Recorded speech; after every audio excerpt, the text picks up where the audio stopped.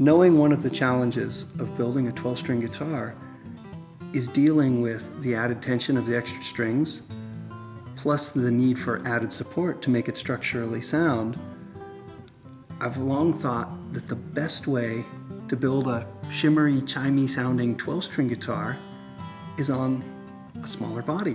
I've got with me a 562 CE 12 fret 12 string guitar. Out of this smaller body, a player can expect a huge amount of power, which is somewhat surprising at first glance, but when you realize the guitar itself, this body can be voiced to excel in this context because it's inherently more stable from the smaller dimensions. I could voice it a little more freely and a little more truly. So now it has this singing, real beautiful sonority emphasizes the chimey octave course part of the 12 strings voice. It's got a really clean, straight, playable neck, real low action. So it has a focus and a level of detail that I haven't found in a 12 string guitar before.